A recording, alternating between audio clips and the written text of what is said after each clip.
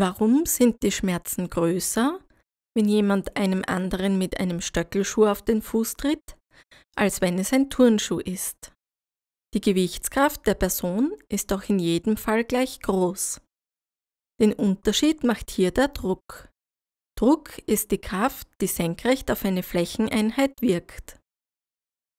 Umso kleiner die Auflagefläche des Schuhs, umso größer ist der Druck, den er ausübt, da sich dieselbe Kraft auf eine kleinere Fläche verteilt.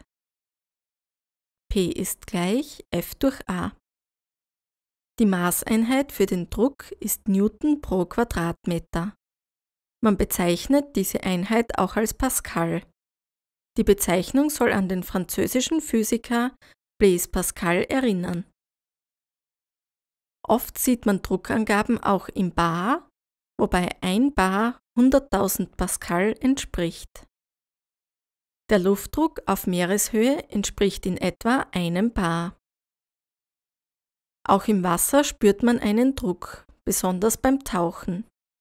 Dieser Druck entsteht durch die Gewichtskraft der Flüssigkeitsteilchen, die sich über der Person befinden.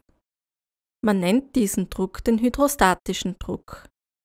Der hydrostatische Druck wird mit zunehmender Eintauchtiefe größer, da sich viel mehr Teilchen über dem Taucher befinden. Pro 10 Meter Tiefe kommt in etwa ein Bar hinzu. Das sieht man auch an der Flasche. Der Strahl spritzt umso weiter, je tiefer die Öffnung liegt.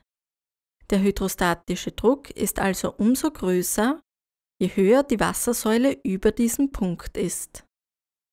Der hydrostatische Druck des Wassers wird in Kraftwerken zur Erzeugung von elektrischer Energie genutzt. Dazu wird Wasser in Stauseen gesammelt. Öffnet man die Schleusen, so fließt das Wasser durch den großen Druck hinaus und treibt dabei Turbinen an. Da der Druck mit zunehmender Wassertiefe steigt, müssen die Staumauern unten dicker sein als oben, damit sie dem Druck standhalten können.